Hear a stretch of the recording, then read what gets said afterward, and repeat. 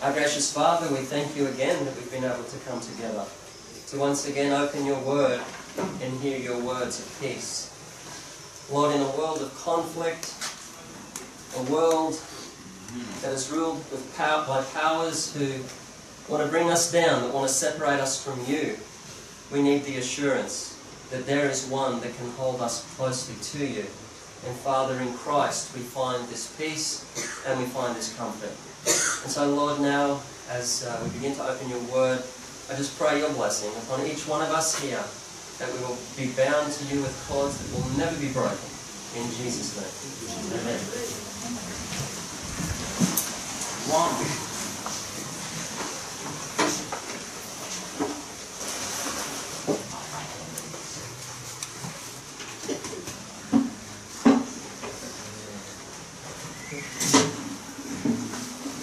Well, my theme for this morning uh, is, is comfort. I believe every one of us loves to have a comfort zone. A place where we can just feel relaxed, where we feel no pressures, no conflict. Just, we can think more clearly when we're in a comfort zone. True? You know, when we're stressed, when we're in conflict, when, you know, when, when do we say the wrong things? When do I say the wrong things? when, when I'm stressed at the heat of the moment, just the wrong thing will come out of me because I'm not in a place of comfort. In our Christian walks, uh, the devil wants to lead us into a place where we are outside of the comfort zone, not just my comfort zone, not your comfort zone, but God's comfort zone for us. The devil wants to drag us out of that and then come at us because he knows we'll surely fall. But if we're in Christ, we shall not fall. There's something beautiful, something special just about that word, comfort. You know, from the time that we're little children, in our mother's arms, in our father's arms, we find, we find this place of comfort. Doesn't matter what's going on around us, something frightens us. Where do we run? I used to run to mum. Run to mum. Because there's a place of comfort. Grab a leg, grab a skirt, grab something. As long as there's something to grab on. Why? Because mum's bigger, mum's stronger, mum's more comfort. She's comforting. She's always comforted me. And so I'd run to mum. Security. But security? Exactly. There's security. But as I was thinking this through in preparation, I was thinking, hey, it goes, even back before we were actually born. From the time that we're conceived, we find a place of comfort, a place to grow, a place to develop, the place to become the person that we would be when we're born. David said in the Psalms that, that God knew my substance mm. Before I was born. Well, yeah, anyway, yeah, something like that. And, um, and so from the time that we're conceived, we, we have a comfort place. We have a place of shelter, a place of security, and a place of sustenance for us to grow and develop until we're born. Now, these three basic needs are supplied in this environment in order that we may grow. It reminds me, oh, actually, the spiritual implication of this, the spiritual implication of this is, is fascinating.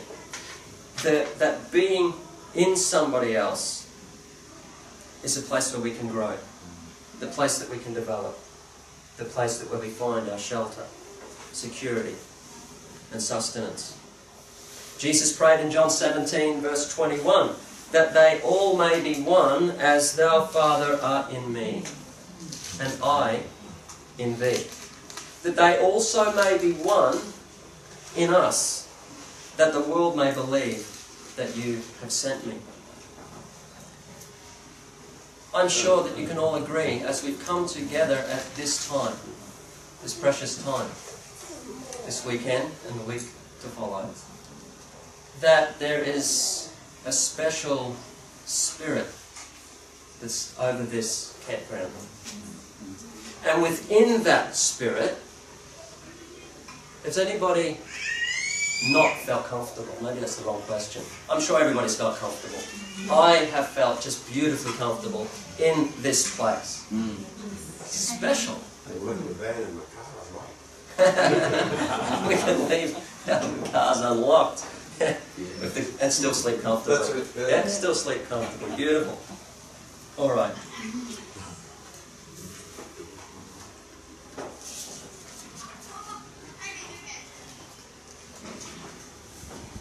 So the first one of those three words that I've mentioned, you know, shelter, security, and sustenance, is the shelter. We have a hymn, don't we? Shelter in the time of storm. The Lord's my Rock. rock. The Lord's my rock. In Him we hide. A shelter in the time of storm. There's a couple of interesting verses in the Bible. Um, Job 24, verse 8. We all know Job's story. Job 24.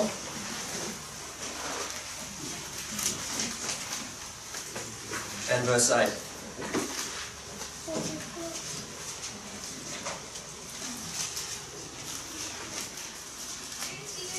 They are wet with the showers of the mountains and embrace the rock for want of shelter. They embrace the rock for want of shelter. Reminds me of a time when uh, Mum and Ken and I, those of you that know Mum and Ken, my stepfather, uh, we were out at Carnarvon Gorge. And uh, we've been, you know, walking up through the gorge and, and, and up Right up the end, there's a, a cave. If anyone's ever been there, I'm sure a lot of you have been there. But there's this cave right up the end. And so we've gone, we'd gone for our walk up to the cave. But while we were up that end, these clouds started to form and started to slowly, slowly come across. In fact, we were watching them come across as we were walking up. And, and I remember thinking, I wonder if we'll get all the way up there and all the way back before the storm hits. Uh, we didn't. And so we sort of made a plan. Let's stay under the shelter of the rock. And then when the storm hit, bang, there was thunder, there was lightning, there was the, the rain was really heavy, and uh, we remained dry, sheltered, secure, beautiful. Not a problem when you're under such a massive outcrop. In Psalms 61 verse 3. Psalm 61, verse 3.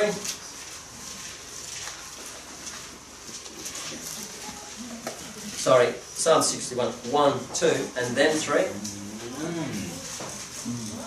Hear my cry, O God, attend to my prayer.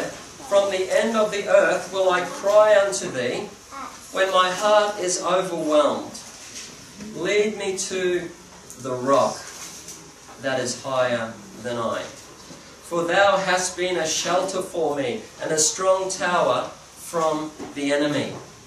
Just as my mum was my shelter, my security when I was a little fella, God has proved to be my shelter, my rock, uh, throughout my life. Jesus is a wonderful Saviour. Jesus is the rock of my salvation. Praise God. And so,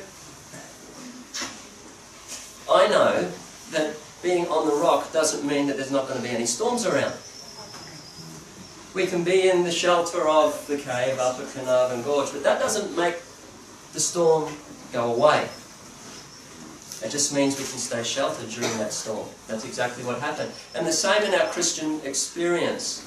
There are going to come things from right field, from left field. There are going to come storms, there are going to come waves that want to overwhelm us, to take us down, and Satan wants to try and keep us under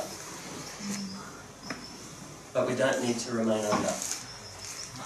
Because there is a rock. And there's some beautiful places down, down uh, just over the, the border in New South Wales, Bogongara, or places like that. You know, the, the, the waves come can come hurtling in, and the rocks just sit there, hey, those rocky outcrops, just sit there. When you're up on top, not a problem. Christ, we can hide under Christ, we can hide on Christ, we can hide in Christ. Christ is the rock that doesn't get moved by Satan, doesn't get moved by anything. So let us, like Job, embrace the rock for want of shelter. There are other occasions where God sheltered his people from danger. Can we think of any? I've got some written down, but can anybody think of a time when God sheltered someone or some, some people from danger? The Exodus? Yeah? Army was behind. The army was behind? hmm Gave them all the light they needed to escape. Fire by night, cloud by day. hmm No. Amen. Noah, beautiful. There's an ark. He was in. He and his family were in. In the ark. Shelter, security. And even the sustenance was supplied. Everything they took on board was a gift given by God. Beautiful. David and his men hiding in a cave. Hey, I can relate to that. yeah. Don't. Not in the Bible, but the Waldenses. They The sought, Waldenses up in. they sought refuge in the rocks and the mountains. Amen. Amen. Shadrach, Meshach, Abednego in a fire. They weren't under a rock. They had the rock beside them in the fire. Yes. That's a Daniel Maloney. Amen. That's a serious one. Amen. That's good. Alrighty. Um, the di- uh, dictionary definition uh, for security, the second one on my list, shelter then security. The dictionary definition of security, free from danger. It's a nice place to, place to be, free from danger. Come aside a while and rest. Come aside and rest a while. Jesus said, we, we just need to come aside and just rest from the danger that's around us. Um, Amen. free from danger, the rod, Psalm 23, thy rod and thy staff, what do they do? They comfort me. Yeah, the protection of the Good Shepherd. Um, another definition, free from anxiety. Great peace have they which love thy law. And everything will bother them? No, nothing shall offend them. Psalm 119, verse 165. Another definition, firmly fixed. I can't help but think of John 15. Hmm. Abide in me. Firmly fixed, firmly attached. And number four, reliable. How reliable is our God? Eternally reliable, amen? Absolutely. In all of our experiences, if we just stopped and, and, and just meditated, and, and we probably do this daily, but you know, if we just stopped and thought about God's God pulling through for us, coming through in the clinch when things were looking tough. God always comes through. So if we're in Him, if we're in Christ, we're going, we just continue to go through. There's a whole bunch of synonyms for secure. And uh, yeah, I'll, I'll just read them out. And each one could possibly just put a thought into your mind. Immune. Okay, synonyms for secure. Immune. Security from disease. Bible verses. I won't take the time to go into it, but so many promises about our health. Immune. Impregnable. Out of harm's way. Protected. Safe. Sheltered. Shielded. Unassailable. Undamaged. Unharmed dependable, fastened, firm, fixed, fortified, immovable, stable, steady. Or reminds me of Jesus. He is all these things. Assured, certain, confident, easy, reassured, sure. And then absolute, conclusive, definite. Interesting one. In the bag secure. It's in the bag. If your name is written in the Lamb's book of life, in the book of life of the Lamb slain from the foundation of the earth, that's in the bag. It's in the book. Maybe we should put that one in. Bring up the dictionary guy. Put in the book. That's secure if you're in the book. Reliable, solid, steadfast, tried and true, well founded. This is Jesus Christ. Amen. We can find our comfort in Him.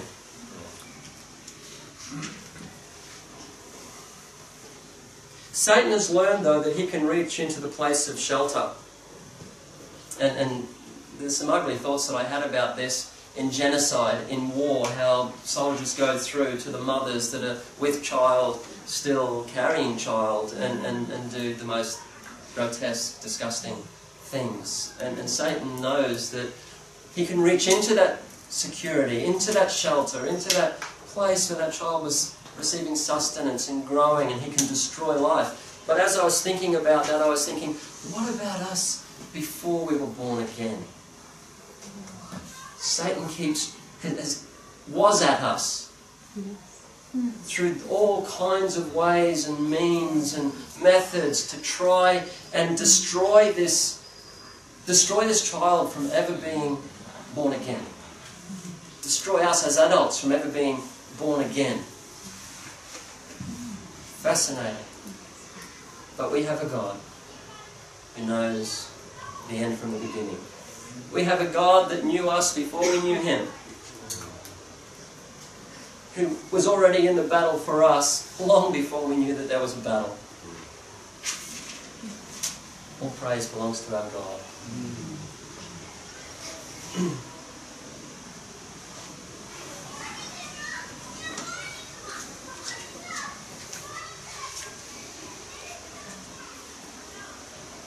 The third aspect of comfort that I mentioned was sustenance.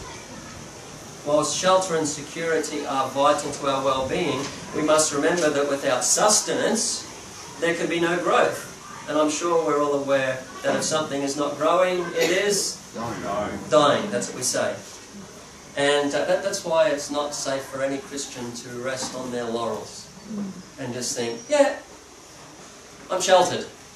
How long can, how long could we have stayed up in that cave w- without coming out? We didn't have food with us. How long could we have stayed there and been, oh, we're secure? How good is this? Yeah, we could last so long. You know, we, we needed water. We had so much water, but we still needed water at some time. We still needed food at some time. We could have gone on, you know, for a considerable period of time without food. But there comes a time when you need new, fresh sustenance. And same within our Christian lives. We need a continual filling of the sustenance of God. We need a continual filling of His Spirit, a continual filling of His Word, a, a continual filling of the fellowship of God the Father and the Son as we come together. If we walk in the light as He is in the light, we have fellowship with one another. All of these add to the sustenance and growth and development and lifting up of, uh, of our souls. Give us strength for our spiritual walk.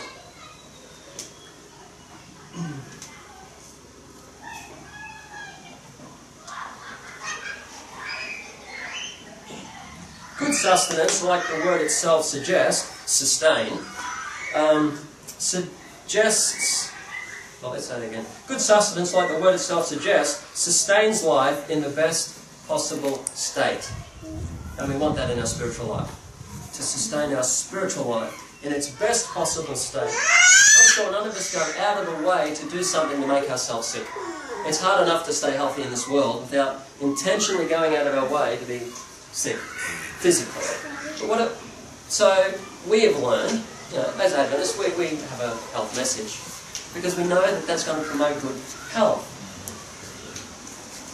But what about our spiritual walk again? We know that there's certain things that promote good health. The Word of God.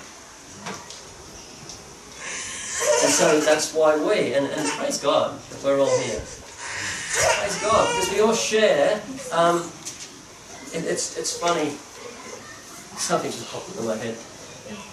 Sometimes I I think we treat church like fast food, like a takeaway. We pop in on a Sabbath morning, we go, you know, okay, Pastor, uh, yeah, oh man, that took too long to serve up, you know, and go home, and, and, and then that's our fast food for the week, and we go, you beauty, there's no fast food on this campground. I haven't noticed it yet. the sermons are not No fast. a bit of indigestion. No yeah. indigestion. No indigestion. Oh, sorry. I misheard that over the line. No indigestion.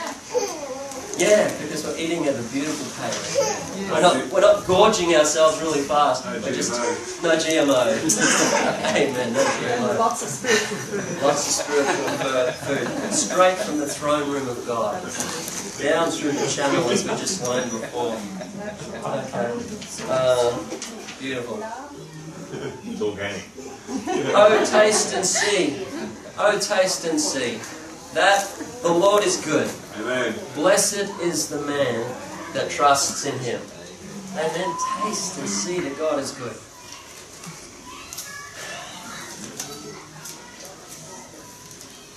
I was thinking about the security. I was thinking of a child. And we would have all seen this, if not done it ourselves. We've been in a swimming pool, and we say to the little child, Jump, I'll catch you. Amen? You've seen it? You've done it? Jump, I'll catch you. And the little fellow, the first time, he's like, mm, he's building up his trust. Oh, can I trust? I've never done this before. And you know, finally the jump into the arms and you catch. You catch little fellow. But I was thinking, I've never seen an adult stand on the side of the pool with a little kid with the floaties on in the water go, catch me! Why not? Because the greater always catches the smaller. That's why we can trust in God. He is the rock. He is the great one, the Almighty, the one that never misses a catch. He is always there to catch us, no matter how hard the devil tries to push us over. When the Father says, Jump, come to me, jump, trust me. Can we trust Him? We can trust Him. And the more we do it, the more fun it is. Hey, the first time we do that jump, oh, okay, yeah, jump. And then it's like, put me back on the side, I want to jump again. It's just great to jump into our Father's arms. Amen. So, what I want to do now is, is I want to just focus across to Jesus' life. Because he's my example in all things. Where did Jesus find his comfort during his time on earth? Where did Jesus? Yes, yeah, yeah. He loved coming aside. Into, he found his peace there, his beautiful tranquility in prayer. Uh, beautiful. Excellent answers. Personal association with his father. That's the one. That's what I want to bring out. The close association with his father is where he found his comfort. In nature, he found his rest, but he was resting in his father, in his in the nature. Um, as I read in the Bible in the spirit of prophecy, I find that Jesus was born in a world that loved him. No? No. Received him not. It came to his own and they received him not. He was born in a world that hated him. As a child, um, using an age old idiom, Jesus was born like a fish out of water, Root out of dry ground. like root out of a dry ground. Amen. I remember there's a song that uh, I think Don McLean used to sing about Vincent van Gogh, and it said, This world was never meant for one as beautiful as you. And, and, and that was a fascinating lyric to me when I was young. But when I became a Christian and I heard that song, I, my mind went to Jesus. This world, the way that it had become because of us, because of the ones He loved, because of the ones He created, it had become so ugly and so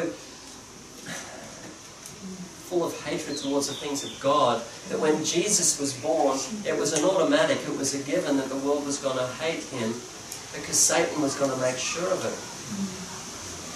Herod wanted him out of the way. From a baby. That, that's how much that Satan feared Jesus Christ. As a baby, he was scared of him. I got to get him out the way. If this child grows, I'm a goner. That's how it was. And so Jesus grew up in a family, he grew up in a community, and uh, he would have had his battles. He would have had some serious battles. Now I've just got a quote that's in my Bible.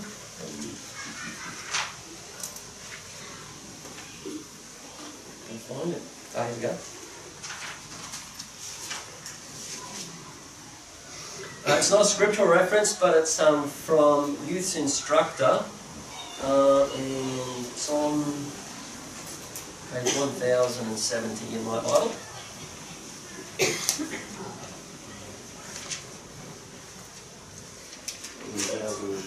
And sev- uh, 1070 in, oh, I got a different cover. Um, in the study Bible with the Ellen White helps. Okay? It's got Ellen White comments underneath it. It is not correct to say, as many writers have said, that Jesus was like all children. He was not like all children. Many children are misguided and mismanaged. But Joseph, and especially Mary, kept kept before them the remembrance of their child's divine fatherhood. Jesus was instructed in accordance with the sacred character of his mission. His inclination to right was a constant gratification to his parents. The questions he asked them led them to study most earnestly the great elements of truth. Fascinating. As a child, he was asking questions of his parents that sent them back to the scriptures. His soul stirring words about nature and the God of nature opened and enlightened their minds. I, I, love walking with these guys. We, we went for a walk yesterday. They're just the most beautiful things open up when God's people get together. It must have been beautiful for um, Joseph and Mary to have this child that was, was just triggering these thoughts with questions that inspired them to go back and read more. After we came back from our walk, and then we had the bonfire, and I'm like, time for bed. Guys are like, want to come down and have another ch- another readable word, or you know, have a look at a subject. And it's like, oh yeah, off we go again. times are refreshing. You don't want to sleep through times are refreshing. Put your floaties on. put, put your floaties on the jump in. That's it. Beautiful. Um, so Jesus wasn't like other children. He, he was different, and so if his um, if, if the world that he lived in was like the world I grew in, uh, grew up in, uh, we didn't treat kids that were different real kindly. And I, I won't go into any more than that, but as kids we can be cruel. You know, we were cruel. Um, yeah, yeah, that pretty sums up a page of my notes. So, we scapegoat, we pay out on others to make ourselves feel better. Jesus would have copped it big time as a child. He really would have. And, and yet, he had a shelter, he had a security, he had spiritual and, and, and all other kinds of sustenance through the Spirit of his Father, his Heavenly Father, but also through his mum and dad. And that's important as well, not to forget that. You know, the shelter and security, the channel, Father, through the Spirit and down, or now through Christ and down through us, down through our children. Adrian's beautifully taught us these lessons many times. Um, so we move from, from that when Jesus was a little child to the time when he was 12 years old. And when he was 12, they go up to the temple for the first time. And the same spirit, the same mindset that kept going up to mum and dad and asking them questions, um, which sent them back to the Word, inspired them to study nature and study God.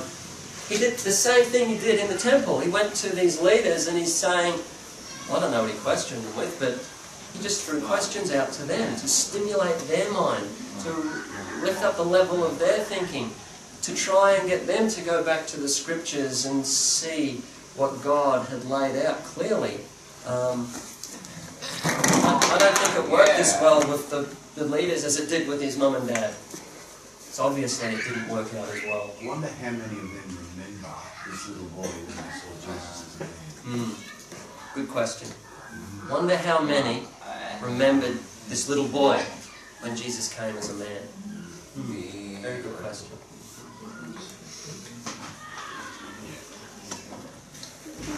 And then Jesus, as, uh, as he was up there in Jerusalem, uh, witnessed the first sacrifice. He saw the first sacrifice. And those, uh, we, we've read Desire of Ages where uh, just something clicked, didn't it? We read with Sister White says something just clicked in his mind when he saw the lamb being slain. It was like, that's me. That's me. And from that point, as a 12 year old, he just he, he knew he had a mission from his father.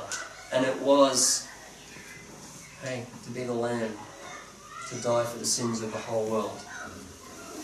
Amazing. Now, let's get back to the notes to refocus. All of a sudden, his world changed. The focal point of his life was now revealed to him, and he knew what his destiny would be. Now, nothing else seemed to matter, and he drank up that moment with thoughts and feelings that I, I mean, I couldn't express. I don't know what was going through his mind, but it must have been an, an incredible sensation to realize the depth of who he was and the mission that was before him. But Whatever his thoughts and feelings were, there must still have been a profound peace in his heart because he knew he was doing his Father's will. Interesting. He must have had a deep inner sense of comfort knowing that he was in his Heavenly Father's will and that he could go forward with the confidence and assurance that his Father would be Wow. with him every step of the way. What did Jesus say? John 16:32 I am not alone for the Father is with me. Beautiful verse. I am not alone for the Father is with me. This was the comfort that kept him strong, knowing that he was in his Father and his Father in him. From that moment as a um, as a 12-year-old, getting back to this, he was single-minded. He was not afraid to be left alone without his mum and dad around in, in the temple. He wasn't afraid of a bunch of learned men that were throwing questions at him. He wasn't uh, afraid to even ask questions. He had inner peace and comfort of knowing he was about his father's business. We remember that when Joseph and Mary came back later on. Like, son, where have you been? You're supposed to be just behind us. And he said, don't you know? It's about my father's business. He was focused. Wow. I often wonder where he went where he went during those three days, in, like up at the temple. Ah, where was his shelter? Where, where, who was feeding him? Who was looking after him? Uh, I don't know. Has anybody ever read anything about that? How he was being looked after? Yeah. I know his heavenly father was still his shelter, still looking after him. Um, Matthew 6:25 to 34.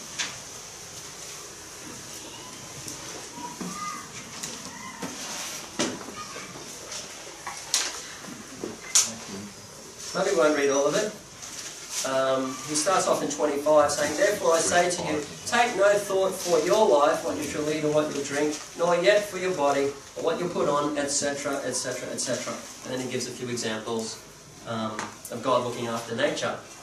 Then he comes down to verse 32. For after all these things do the Gentiles seek, for your heavenly Father knows that you have need of all of these things. But seek ye first the kingdom of God and his righteousness. All these things will be added unto you. Take no thought for the morrow, for the morrow shall take thought of the things for itself. Sufficient to the day is the evil thereof. And when I was reading this, in the context of what I've just been saying, I was thinking, as a 12 year old, he's probably already practicing that. And so later on, he was able to preach those same things. Take no thought for tomorrow. He was about his father's business in the temple. And his, I'm, I'm sure the father supplied somebody to feed him. You know?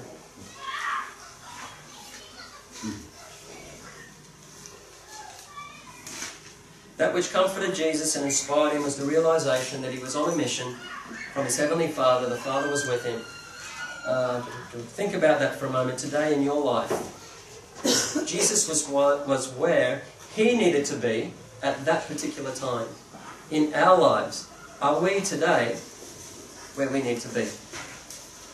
An answer for all of this. Amen. I believe we're supposed to be here today. That's what the whole camp's been about, isn't it? We're supposed to be here. Praise God. Praise God. Now, having just noticed that Jesus told his mum and dad he must be about his heavenly Father's business, we need to look at what happened next in his life. He went back to Nazareth and started working in his carpenter shop. He didn't just say, I'm not taking up a trade. I'm, I'm not doing mundane work. I've got better things to do. He knew his mission, yes, but he also knew that his mission was to be in accordance with his Father's will and his Father's timing. And we've learned a lot about timing, haven't we, in, in, in our lessons together. God has certain times ordained for us to do certain things, to go certain places, and I'm sure he's got a map lined out. I know he's got a map lined out for uh, a dear brother over here um, on certain years. God had a blessing and a blessing and a blessing. And then when we come into line with God's blessings, we are going to grow, when we're going to get the sustenance that we require to grow even more quickly. You know, we can we can water the garden every day. You know, anybody's gardeners, I'm sure there's a lot of gardeners here. We can water the garden every day, and then every week, and every day, and every week, and just keep watering, watering, watering, and the plants will grow so much. And you think, why are they looking sickly? Have we given them sustenance? Have we prepared the soil? Are we giving them new sustenance? And God has appointed times to give us uh, a boost fertilize our Christian walk, make us grow quicker.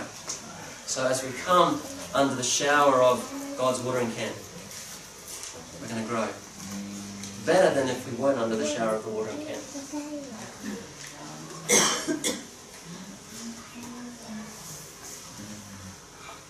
So he didn't say, I've got better things to do. He went about his daily business, but still went, he, um, but still knew where his father needed him to be.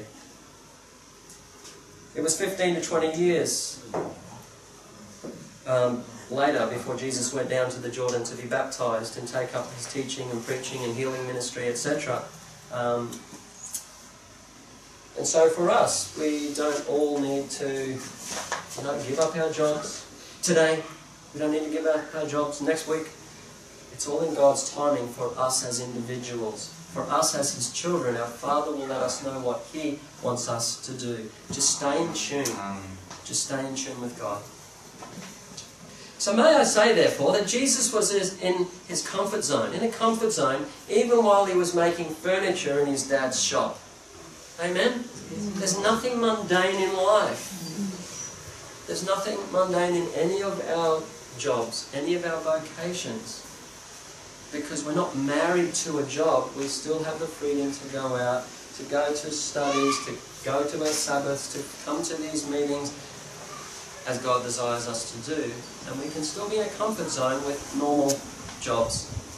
While he came to understand his mission in life, he didn't just drop everything and rush ahead of his father's timing. He still fulfilled his role as a son of Joseph and Mary. He still interacted with his brothers and sisters and neighbours as any normal child would. But through all and during but through and during all this, Jesus was in preparation mode for his ultimate role in life, to reveal his Father to the world, to unfold and manifest his will to the people, and to bring healing and comfort to those who needed it. We can learn a lot from that, eh? Having received comfort from his Heavenly Father, he was able to pass that comfort on to those he came into contact with every day. Again, a good lesson for us. Um, all right, after his baptism,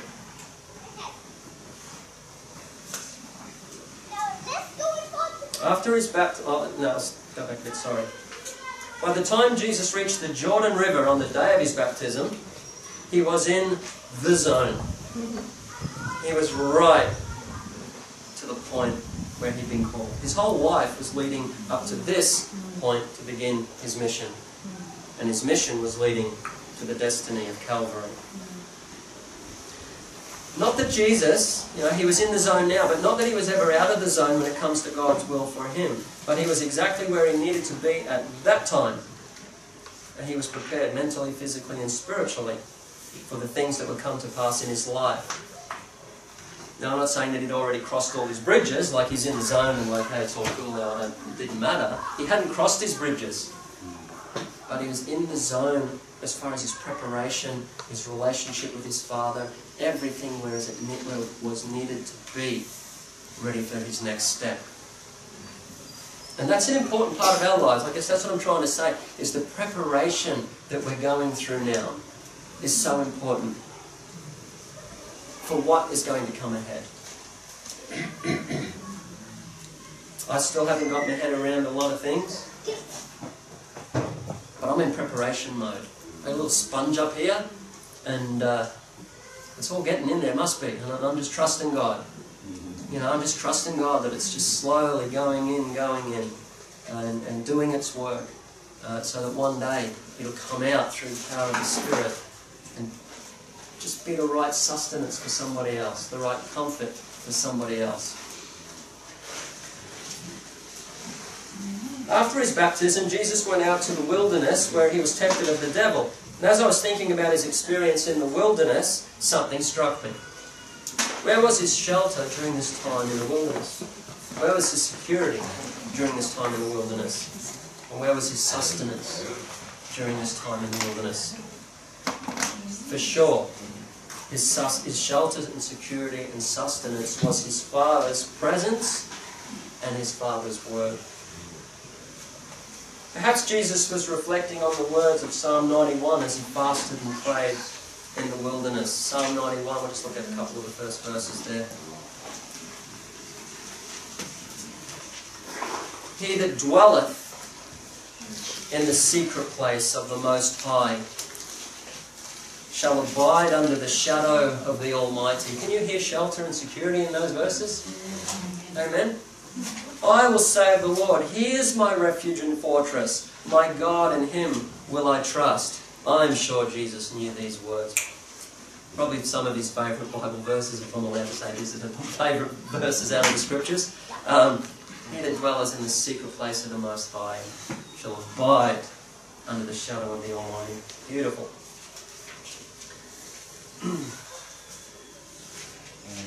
when the devil comes along and tempts him to turn the stones to bread, Jesus had been in his Father's presence, sheltering, receiving security, comfort, and sustenance for 40 days.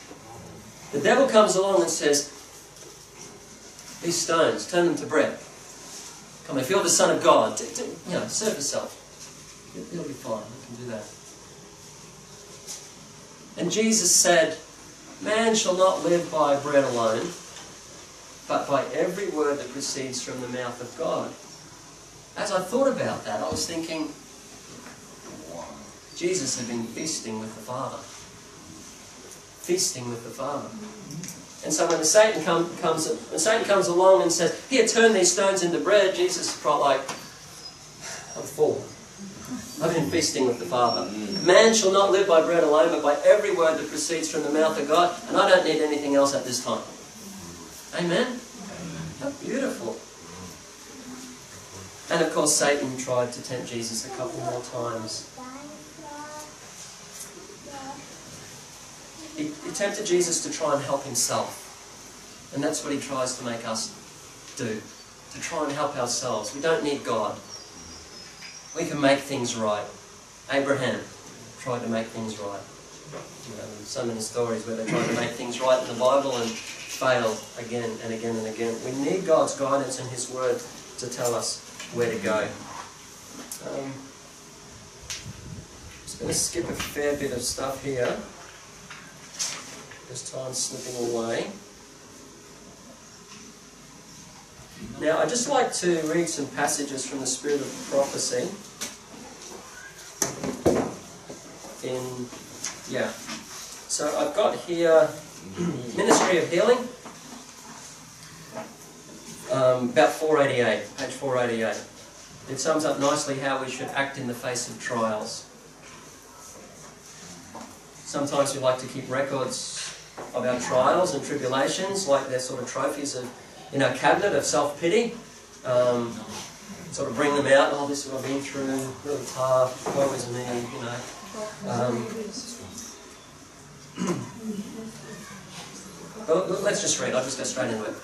Ellen White says, We are prone to look to our fellow men for sympathy and uplifting. And, and at times there's comforts in that. Um, we've got to get the balance because there are other quotes that talk about comforting one another.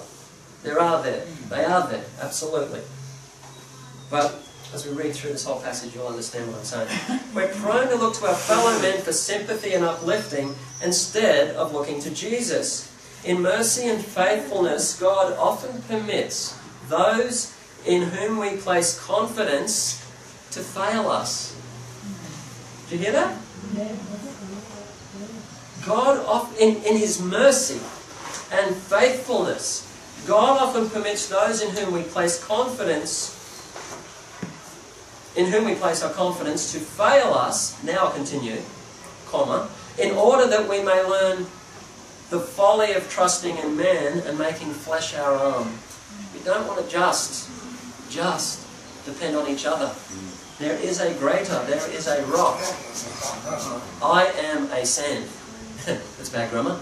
Hey, I, I am sand. Don't trust in me. Don't. No foundation in government. Jesus is the rock. You know, I can give you comfort. You know, if you've been walking on uh, rocky ground and your feet are a bit sore and whatever, then you can come across to me, and if I'm sand, you can find a little bit of peace, and that's nice. We can share. We can comfort another one. Ah, your feet are on the on the sand, but don't build on the sand. Can, can you see the difference? So there's comfort in both places, but one stands true and strong and is eternal, and we're just temporal, and we sometimes shift. But there's moments where we need each other. Let us trust fully, humbly, unselfishly in God. He knows the sorrows that we feel to the depths of our being, which we cannot express. When all things seem dark and unexplainable, remember the words of Christ. What I do, thou knowest not. How many times we reach the place we thought, what's God doing? And then later on we look back at our experiences and go, oh, now we know what God was doing. Yeah.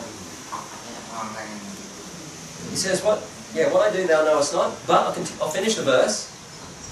But thou shalt know thereafter." Yeah, the whole verse. The history of Joseph, the history of Daniel. What stories? Instantly, the, the whole stories can flash before our eyes. We know the stories. So long as we're in the world, we shall meet with adverse influences. There will be provocations to test the temper. And it is by meeting these in the right spirit that the Christian graces are developed. If Christ dwells in us, who dwells in us? If Christ dwells in us, you believe it? Amen. We shall be patient, kind, forbearing, cheerful amid frets and irritations. Day by day and year by year, we shall conquer self and grow into a noble heroism. Come down a couple of paragraphs. When things are going difficult for us. It says, then talk of the promises. Talk of Jesus' willingness to bless. He does not forget us for one brief moment. That's an amazing thought. We're on his mind all day, every day.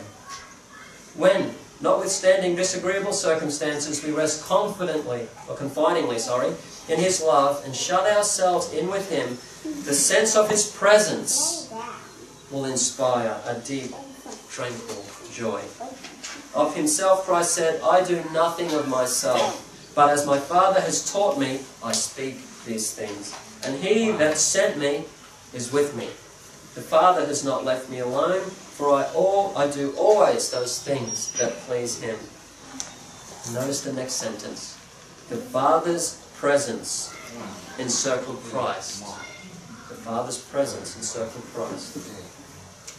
And nothing be, nothing befell him but that which infinite love permitted for the blessing of the world. Everything that happened to Christ was for a blessing upon the world. Amazing. The temptation in the wilderness, the experiences as a child, the experiences during his ministry, that rotten last 24 hours, 48 hours in his life. Nothing befell him which in, that which infinite love permitted for a blessing for the world. Could that be the same in our lives? Amen, brother. Just thinking the same thing. Can that be the same for us when we go through tough times when we go through persecution, when, you know, the, the things that happened to me as a child uh, have imprinted themselves into who I am, the things that I battle with and struggle with, but God can work through those things. And, and only as the Master can, He can turn that around and use my experiences to be a blessing to others. And He can use your experiences to be a blessing to others. That's a marvel. That's a miracle. That's a sign that God could do that. And we're experiencing that this weekend. Just got two more passages, two more little quotes, and then it's up. Then, then I'm done. Steps to Christ, 125. But even here, Christians may have the joy of communion with Christ. They may have the light of His love, the perpetual comfort of His presence. Amen. Every step in life may bring us closer to Jesus.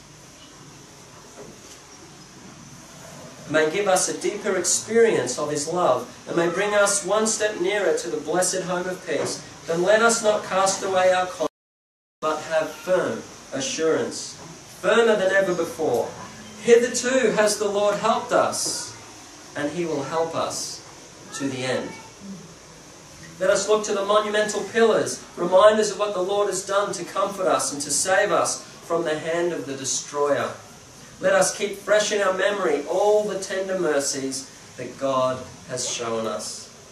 The tears He has wiped away, the pains He has soothed, the anxieties removed, the fears dispelled, the wants supplied, the blessings bestowed thus strengthening ourselves for all that is before us through the remainder of our pilgrimage. How precious are those words. All of these negatives can be turned around as a positive, as a strengthener, a, um, a strengthener of our faith to trust in God for the remainder of our pilgrimage. And I close with some words from Desire of Ages, page 324. When the soul surrenders itself to Christ, a new power takes possession of the new heart. A change is wrought which man can never accomplish for himself. It is a supernatural work, bringing a supernatural element into human nature. The soul that is yielded to Christ becomes his own fortress. Did you get that? The soul that is yielded to Christ becomes Christ's fortress. He is inside you and He's going to protect His fortress, isn't He? Amen? Beautiful. The soul that is yielded to Christ becomes His own fortress, which He holds in a revolted world, and He intends that no authority shall be known in it but His own. His word will reign supreme, and His presence will reign supreme in His fortress, our souls.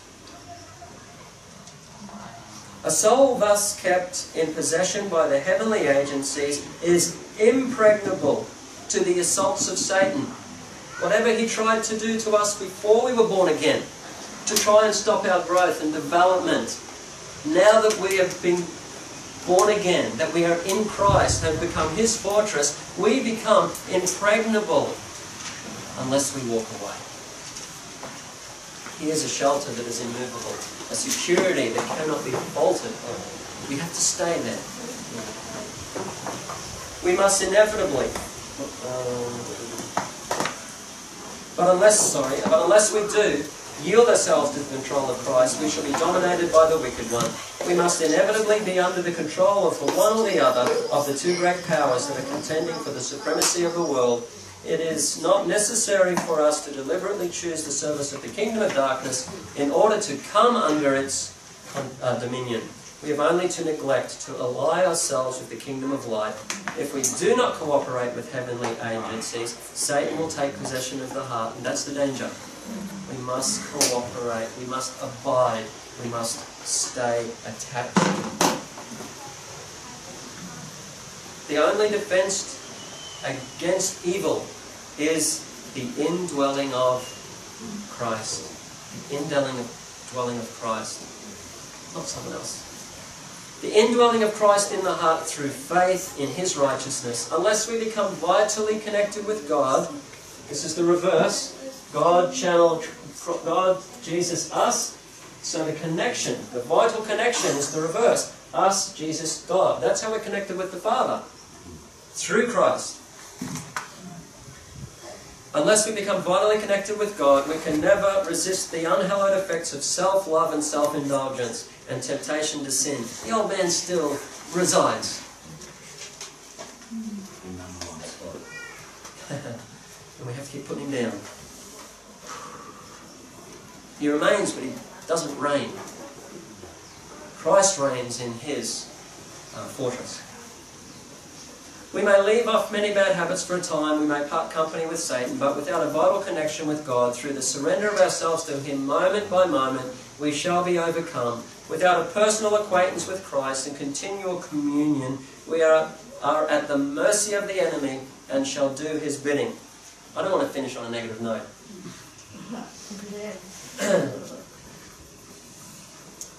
We're talking about comfort today. As Christ received his comfort through his Father, through his Father's presence, he said, I'm not alone, for the Father is with me. And in these words, we've just learned about, the, or we've just been reminded about the indwelling of Christ. We are not alone, for Christ is with us. Christ is in us. If we believe that, if we believe that Christ is in us, nothing can stand against us. For he that is with us. Sorry? Yeah, he that is with us is more than that they yeah, than those that are against us. And so I just offer you Jesus, people. Nothing less. Thank you. I offer you Jesus, the Comforter. For when the Comforter is come, the Spirit of truth, the indwelling of Christ, you shall be comforted, and you shall go on to the kingdom. Amen? Let's pray.